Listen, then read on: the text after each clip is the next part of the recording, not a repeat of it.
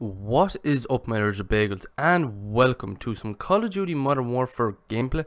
So today guys what I want to talk to you all about is Call of Duty Black Ops Cold War. Now in today's update, well Tuesday, actually brought a lot of information, new information to light on Call of Duty Black Ops Cold War. Now there is kind of a few spoilers in this, not really, but I just thought I'd just say it just in case. So this information confirms that Frank Woods will be a playable operator within Call of Duty Warzone with images. However, I cannot show these images because I do not want to get a copyright on my channel or taken down. Now, there is also an official description for Call of Duty Black Ops Cold War which says this. The iconic Black Ops series is back with Call of Duty Black Ops Cold War, the direct sequel to the original and fan favorite Call of Duty Black Ops. Black Ops Cold War will drop fans into the depth of the Cold War's volatile geopolitical battle of the early 1980s. Nothing is ever as it seems, and a gripping single player campaign where players will come face to face with historical figures and hard truths as they battle around the globe through iconic locales like East Berlin, Vietnam, Turkey, Soviet KGB headquarters, and many, many more. As elite operatives, you will follow the trail of a shadowy figure named Prometheus, who is on a mission to destabilize the global balance of power and change the course of history. Descend into the dark center of the global conspiracy alongside iconic characters like Woods, Mason, Hudson, and a new cast of operatives attempting to stop a plot decades in the making. Beyond the campaign, players will bring Cold War arsenal of weapons and equipment into the next generation of multiplayer and zombie experiences. Welcome to the brink. Welcome to Call of Duty Black Ops Cold War. I think I did a pretty good voice for that narration. I was going to go for a huskier, deeper voice, but then I decided that I wouldn't. I'm kind of proud of myself the way I did it, actually. I'm low key, no cap, bro. I kind of like it. So, alongside this, the official release date has actually been leaked, coming out November 13th, 2020, which is a Friday, which is good. And there seemingly been text files indicating September 9th as the multiplayer reveal.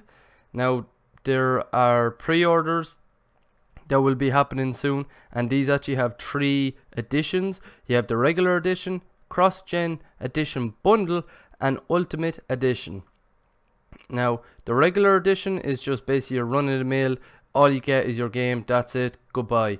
The cross-gen edition bundle, which is new, this is where you will have to pay a bit more money. However, if you're getting the next gen consoles, you will be given basically a discount when getting it for either the PS5 or the Xbox Series X. Now, I'll talk about that a bit more and give my opinion in a minute or two. I just want to talk about the Ultimate Edition and a bit more now. So, the Ultimate Edition is you're going to be having land, sea and air pack which we already seemingly knew about which will have three operator skins, three weapon blueprints and three vehicle skins.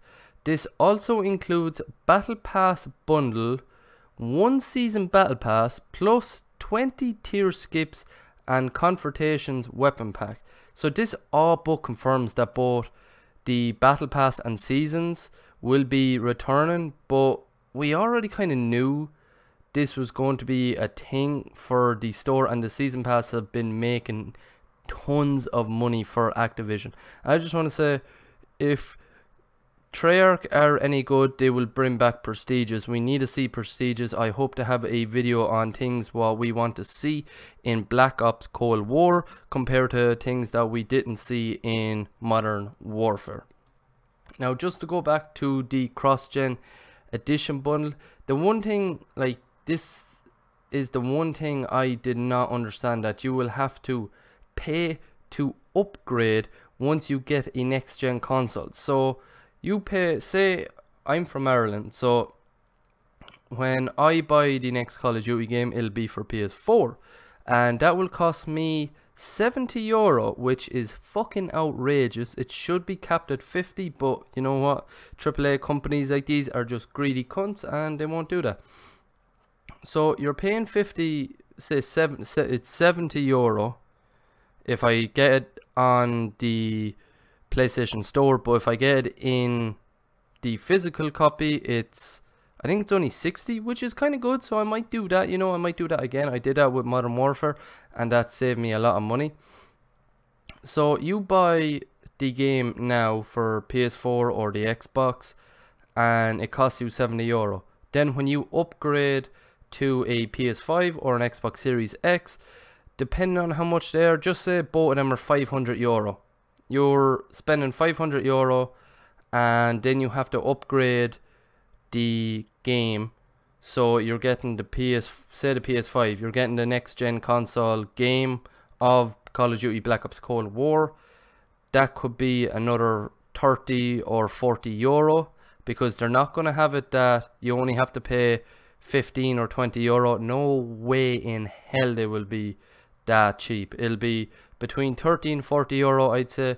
So you're looking at a good guts of 630, 640, like 630 or 640 euros, which is just mind blowing to me. Like, why is this even an option compared to the likes of EA and all them big AAA gaming companies that are actually giving you the option if you buy on current gen you will be able to upgrade for free. I definitely know uh, with at least ea with fifa they are doing that. But it just it, this makes no sense to me. It's ridiculous it's just greedy and if they do do this it'll have a lot of people up in arms. Personally for me i think it should be free when you upgrade because lots of people are going to be like well okay if I can't get the PS5 now, will I bother even getting Call of Duty Black Ops Cold War? What if I just wait until it's on sale and when I have the PS5 or the Xbox Series X and then I'll get it then. And that could be six months, seven months, or maybe near enough nearing the end of its life cycle. I'm not really sure, but that's just my take on it. Personally, I think Activision should recant this and say, look, we're actually not going to do that. Uh, you get this code when you get the regular edition, ultimate edition, or even cross-gen edition. If they keep it as cross-gen edition, if they don't, probably be called hardened edition, I'd say. And you get this code, and this is code is only for you. And once you buy the PS5, you put this code in, and boom, you have your game, you have all your stats and everything from the say likes the PS4 and it converts over to the PS5. That's personally what they should do and I hope to see that. But yeah, tomorrow or when you're seeing this it'll be basically more or less today because it'll be around midnight when this is uploaded. Uh, I will be live about half an hour before the whole reveal hopefully and I hope to be able to show it off and yeah that's really it guys. Hope you did like this video. If you did please hit the like button. Right beside the like button is the subscribe button that you can hit to stay up to date with my channel and give me a subscriber. Right beside that is the notification bell that you can hit to stay up to date whenever I upload a YouTube video or even when I go live on my YouTube channel which is rare. Speaking of live streams I tend to live stream weekly and I will be live streaming tomorrow on my Twitch channel. Link to that will be down in the description below. And once you're there, you can hit the follow button and hit the notification bell to stay up to date whenever I go live on that channel. I also have a Twitter that I manually update whenever I upload a video or whenever I go live on my Twitch channel. Link to that will be down in the description below as well. And yeah, that is it guys. Hope you like, favorite, and subscribe, and peace.